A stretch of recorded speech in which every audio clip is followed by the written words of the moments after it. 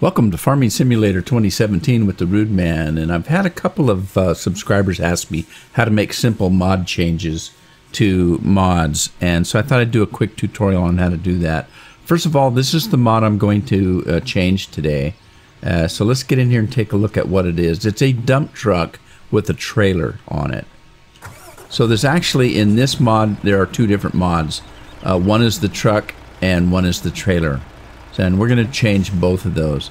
So to start with, let's take a look at this trailer and see what changes we're going to make. First of all, if we go look at this, one of the changes people wanted to know how to make was how to change the price.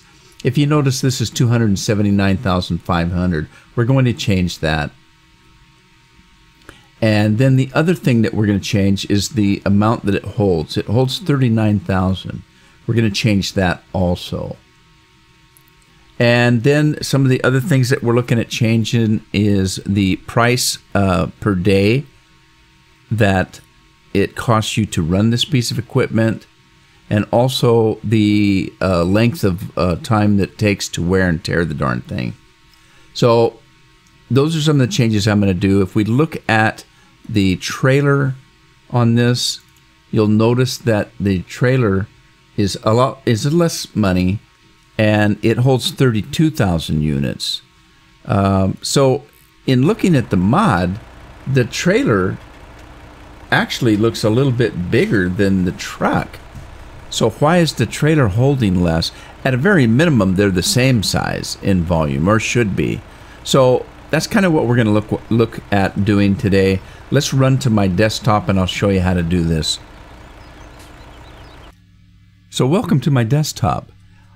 The first thing you need to know before you start modding a mod is to make a copy of the mod because you don't want it in the same location as where you're actually uh, keeping all of your mods. So make a copy of the mod and put it someplace else. In this case, I like to do my work on my desktop. Now my mods are in a complete different different um, drive than the game that I'm playing. So because I like to keep my mods separate from the game. But what I've done is I've created a folder up here. I'm going to open that up. This is the mod that I've chosen, and as you've seen, it's that it's that uh, dump truck and the trailer. And as you notice, it's in a zip form. So the first thing you need to do is you have to have some way to unzip this file. Most people know how to do that, but uh, if you don't, you can unzip it. Windows can unzip it. I use a program called 7-Zip, and I do that because it's a very uh, good program. It unzips zip files and uh, WinRAR files.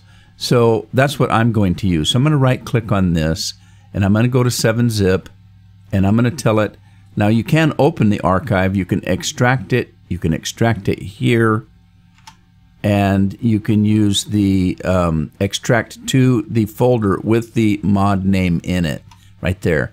That's what I'm going to do. So I'm going to click on that and you'll notice now that it has created an identical folder in name except for this one is not zipped. So we're going to click on that and we're going to open it up. Okay, once you open it up, you're going to see all of these files. You know, these files are the files that make up that mod. I wouldn't mess with anything here except for the XML files. That's what we're going to concentrate on today. Now, this particular file has three of them. Normally, you're only going to have the two. You're going to have a mod description and you're going to have an XML that represents the actual uh, mod, which is a MAN truck in this case. But this mod has two mods in it, the truck and the trailer. So you've got a third XML, and we're going to have to work both of those. Now, if you're going to change, make changes to an XML, you don't need the giant editor. These two right here, the trailer and the MAN truck, these are what you'd have to use the uh, giant editor for, these. But we're not going to mess with these. These are the i3D files. So, and we're not going to mess with any of the textures or any of that. So let's start with the MAN truck over here. That'd be this one right here. And we're going to open it up. I'm going to right click on it. I'm going to open it up with a program called Notepad++. I use Notepad++ it's because it's a very robust program. Uh, it really makes a difference in the way you work your notepad. So I'm going to click on that and it's going to open it up. And these are all the scripts and information that make up this mod. Now, the things we're going to look at changing are up at the top here. Let's just take a look at some of this. Up here is just your uh, annotation, your giant software stuff, um, that kind of thing. Right here, if you look at this area, is the name of the of the mod. You've got the specs right here. You've got functions here. Now we're getting into the part where we want to change. One of the things that my subscribers have asked me to change is the actual price of the mod in the store. And that's what this is right here. So it's 279,500. Just for the sake of this demonstration, I'm going to change this to uh, 250,000 instead of 279. So let's change that and then take the 500 out. All right, now you'll see right here that I've changed it to 250,000. The other thing they asked me to change was the daily upkeep.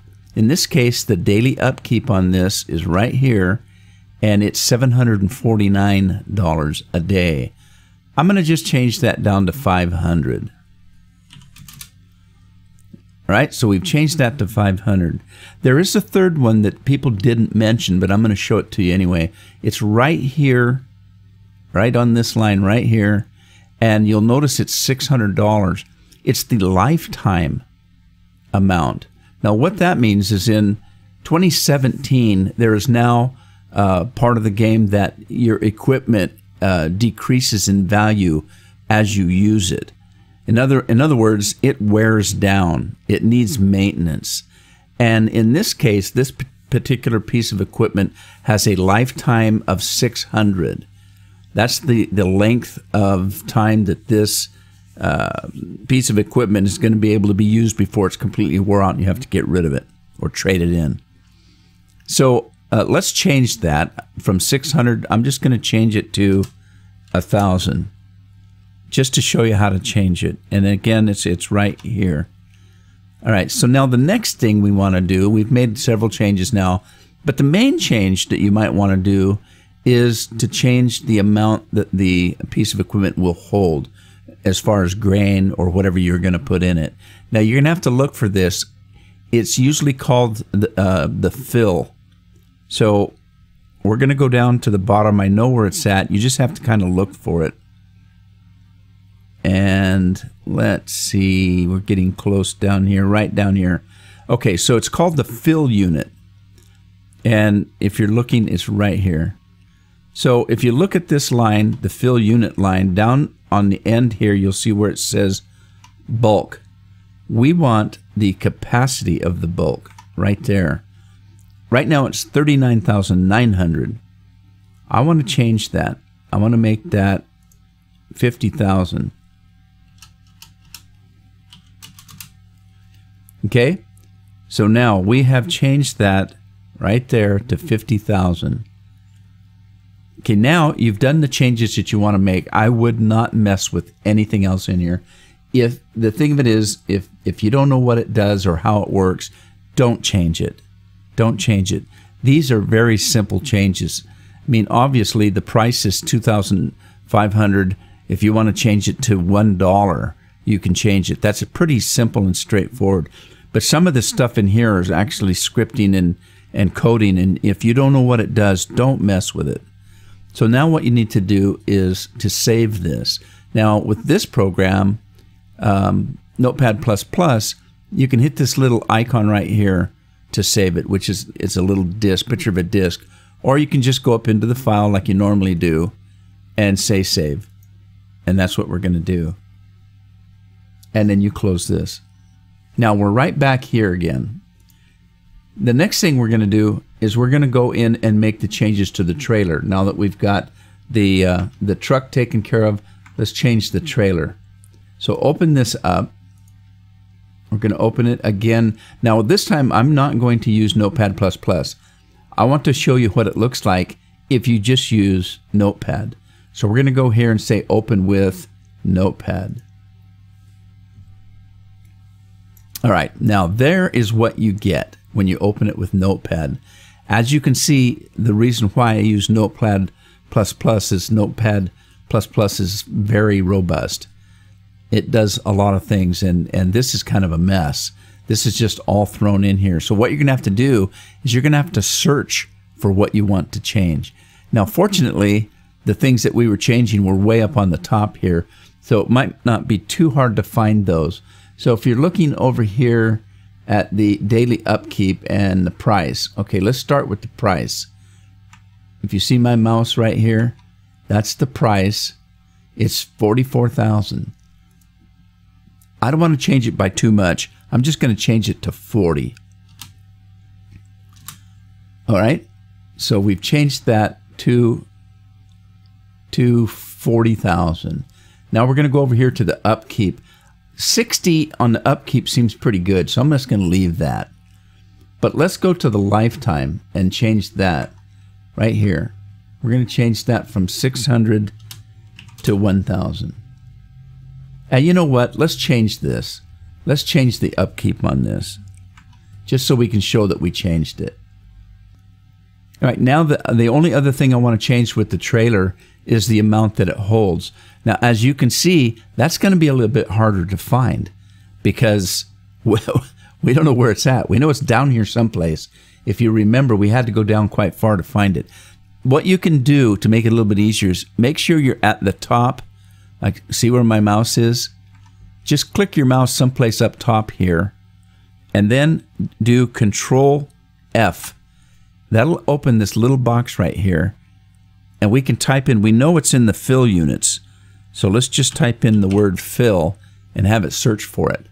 And it found the fill units right here, right here. Okay, so if we go down this line, again, we're going to see bulk and we're going to see the capacity. And the capacity now is 32,000. If you remember when we looked at that, that trailer looked as big as the one on the truck.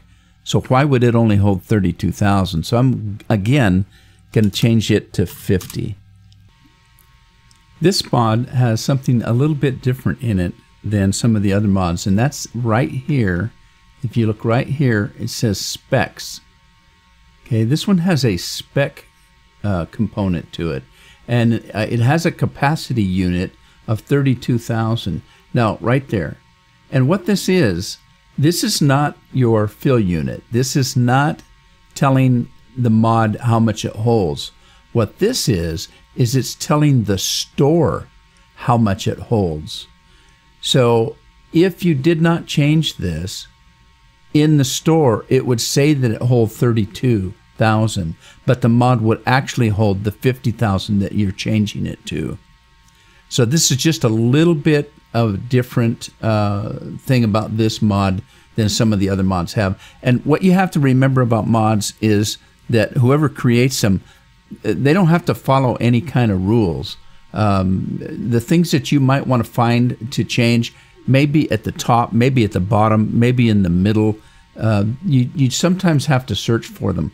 This is just a little bit something different than the norm. If you noticed in the actual truck, this did not uh, happen. We didn't have this in the truck mod. So I'm going to change this to 50 so that in the store it will show 50. Now I'm going to get out of here before I mess anything up. So go up to your file and save. And get out of this. At this point, we have modded the trailer and we have modded the truck. The only thing we need to do now is to rezip this file. So to do that, you're gonna you're gonna take and highlight everything that's in this folder right there. So everything is highlighted. Right click, click on anything there, and then we're going to use our 7-zip again, and we're going to add it to an archive right here. Okay, When you do that, it should come up with the name of the mod in a zip form. And this archive right here should say zip. If it does, you don't have to do anything. And it should do that automatically. It should. So if this has the name of the mod and, and it's in zip form like it is here, you can just hit OK. Now what's going to happen is it's going to make a new file over here or wherever on your on your uh, desktop here.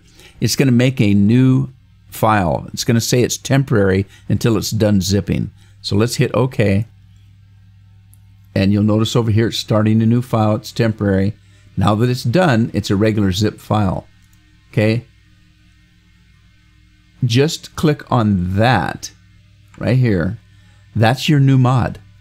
Right click on it, copy it, get out of this. You can now paste it to your desktop. There's your new mod right there. All you have to do now is take this, drop it into your mod folder where you have the rest of your mods, and replace the old one that's in there. That's all you have to do. Now let's go take a look at the changes that we made. All right, so we are back on the farm. Let's take a look, see if our changes took effect. If we go into the store and we'll look at the truck, let's go over to this truck right here. You'll notice that our price changed down from 279 to 250. Down here, our uh, units now holds 50,000. If you look over here, our daily cost went from 600 to 50. So our changes did take effect. One of the other things that you could have changed, you could have changed the amount of fuel that it held. I did not do that, but you could do that. It's in there. Let's go back and look at the trailer now. If we go over to the far end and click on this trailer, you'll notice it went from 44,000 down to 40. And if we go over here, our costs per day were 60. We changed it down to 50.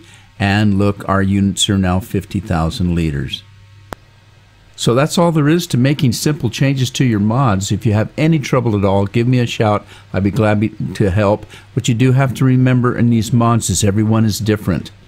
So where you found the changes to this mod may, may be in a complete different location on the next mod.